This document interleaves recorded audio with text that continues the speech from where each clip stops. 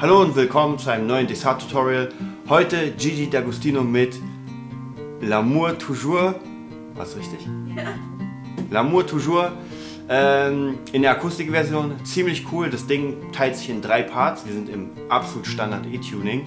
Und ja, der erste Part wird sein ähm, die komplette Strophe. Zweite Part äh, ja, der Refrain und der dritte Part ist so eine Art kleiner Solo-Part. Wir gehen alle mal durch.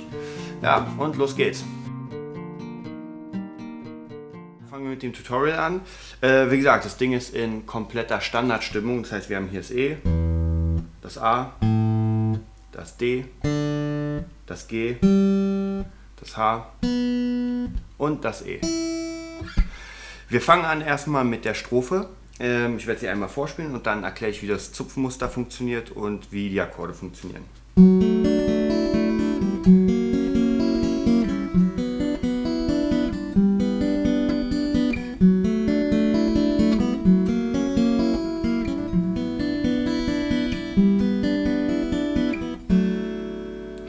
Das Ganze kann man natürlich auch einfach hier mit Schrubben machen, das machen wir gleich.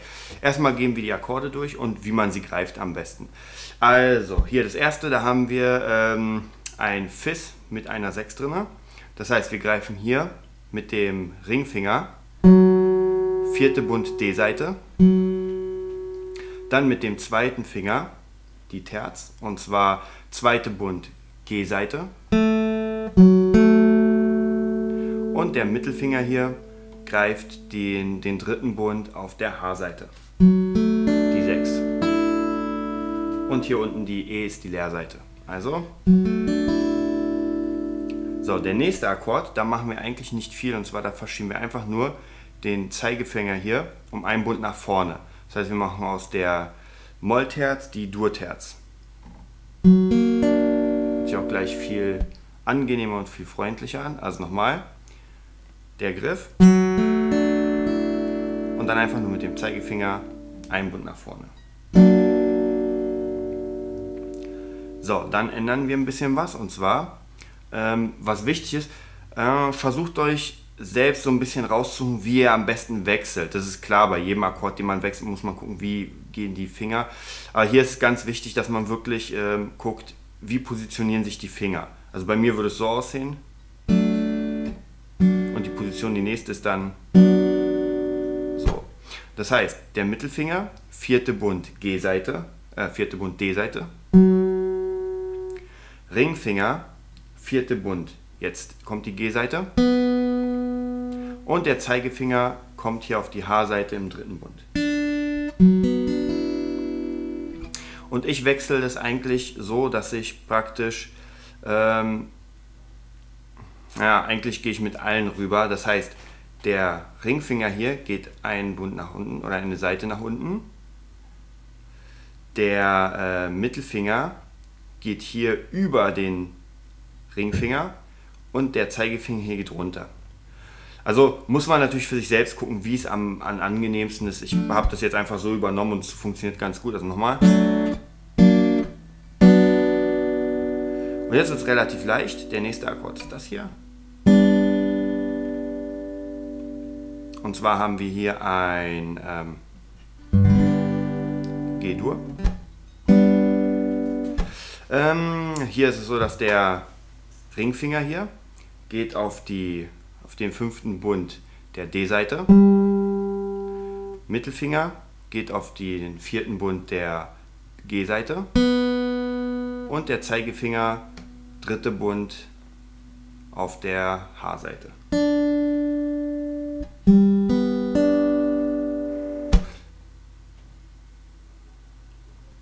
Okay, dann gehen wir das Riff nochmal ganz, ganz soft durch. Ich werde es erstmal einfach, einfach runterspielen, damit man es sieht.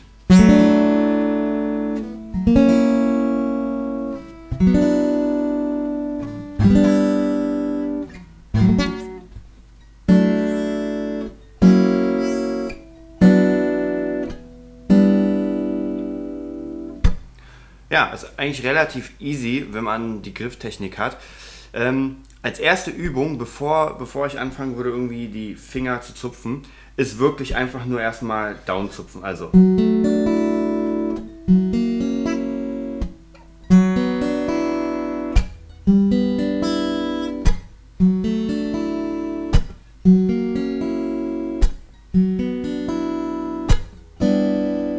Also einfach erstmal die Finger so ein bisschen allgemein ans Zupfen gewöhnen.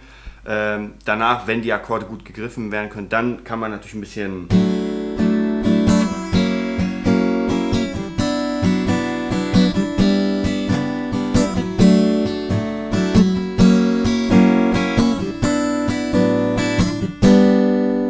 einfach ein bisschen runterschraddeln. Ja, und jetzt kommen wir zum Zupfmuster. Ich werde es ganz langsam mal spielen und dann erklären, wie es funktioniert. Also, wir fangen an mit dem Daumen, gehen runter, Zeigefinger, Mittelfinger, dann wieder hoch zum, Mittelfinger, äh, zum Zeigefinger, dann ganz runter mit dem Ringfinger, jetzt kommt der Mittelfinger, Zeigefinger, nochmal.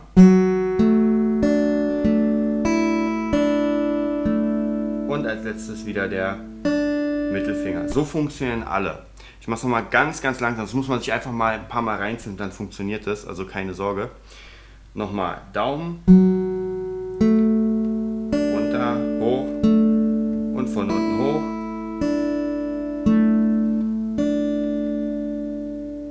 Eigentlich relativ easy und das macht man auf allen Akkorden von hier.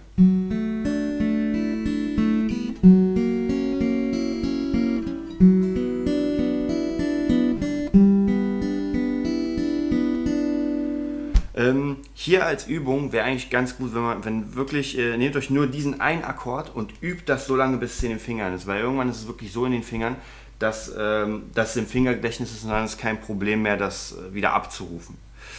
Ähm, okay, dann gehen wir jetzt zum ja, Refrain.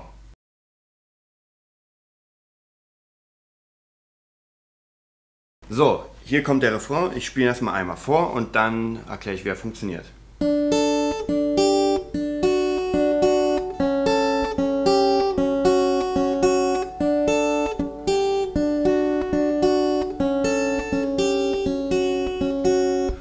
Also auch eigentlich relativ